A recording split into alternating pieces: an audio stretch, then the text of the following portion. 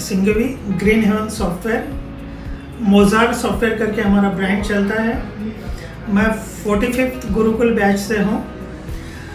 संतोष Nair sir का गुरुकुल करने के पहले, मैं एज अ बिजनेसमैन बोलो या वन मैन आर्मी बिज़नेस चल रहा था, जहाँ पे मैं और मेरा भाई, हम दोनों, मैं टेक्निकल संभालता था, वो सेल और हम कर रहे थे। लेकिन हमको ये रियलाइजेशन नहीं हुआ कि जिस तरीके से हम काम कर रहे हो, हम कहाँ पहुँचेंगे। दस साल से हमारा ग्रोथ ज़ीरो है। ग्रोथ है ही नहीं, सिर्फ़ हमारा day day to day work चल रहा है। बट जब गुरुकुल का फ़र्स्ट सेशन हुआ और जब पता रियलाइज़ हुआ कि हम तो चक्रव्यूह में फंसे हैं, अगर इसी तरह से चलते रहे तो कुछ नहीं करेंगे। और जो काम नहीं करने चाहिए एज ए एंटरप्रनर हम सब वही काम कर रहे थे और जो करने चाहिए वो कभी किए ही नहीं और पूरे फंसे पड़े रहे।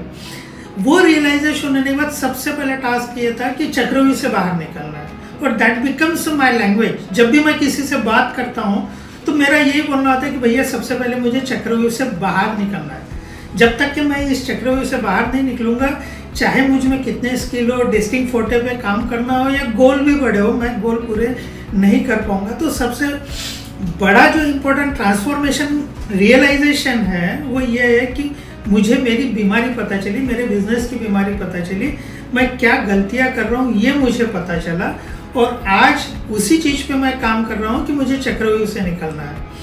तो चक्रव्यूह से निकलने की जब बात आई तो सबसे पहले पता चला कि टीम नहीं है। जब तक कि टीम नहीं होगी, जो मेरी एक्टिविटीज़ को हैंडल करे, तब तक कि मैं, मुझे फ्री टाइम नहीं मिलेगा।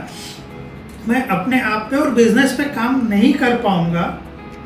और उसकी वजह से जब मैंने स्मार्ट ज्वाइन किया, फिर शमा मैम से जो रिव्यू होता था, उसमें उन्होंने एक दिन बोला कि भैया आप किसी भी लोगों को ला के बैठाओ, लेकिन टीम बैठाओ और इस प्रेशर की वजह से मेरा आज चार पाँच लोगों का टीम सेटअप हो गया, उनका ट्रेनिंग शुरू है।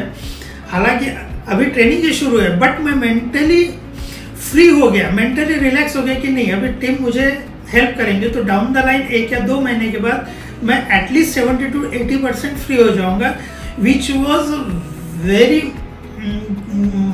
and mind blowing result था without forceful implementation it's casual kind of implementation हुआ इजी वे में इम्प्लीमेंट हुआ ये सबसे बड़ी बात लगी कि ऐसा लगा नहीं कि हम कुछ बड़ा काम कर रहे हैं बट छोटी छोटी एक्टिविटी करके जो रिक्रूटमेंट टीम हुआ, उससे ये पता चला कि एक बहुत बड़े रिज़ल्ट की ओर हम जा रहे हैं which is a transformation for me और इस मेंटल पीस से और जो नायर सर के जो सेशन हो रहे हैं कि don't do the don't do the predictable work repeatable task और नॉन रेवेन्यू जनरेटिंग एक्टिविटी ये चीज़ जब बार बार हिट होती है, तब पता चलता है कि मैं क्या कर रहा हूँ। तो अभी मुझे पता चल रहा है कि मुझे क्या करना है। सो इन दैट वे अब मैं, जो भी मेरा थिंकिंग फिलोसफी टॉकिंग है या बात करने के डायलॉग्स वो इसी तरह से होते हैं कि भैया चक्रव्यूह से निकलना है, बड़ा कुछ करना है। जब तक कि मैं टीम सेटअप नहीं करूँगा value addition activity revenue generation activity पे काम नहीं करूँगा, मैं ग्रो नहीं हो पाऊँगा। तो ये ये जब मेरा टॉकिंग टर्म्स आया तो it's really created miracle in my life और मैजिक हैपन हो रहा है ऐसा मुझे लग रहा है।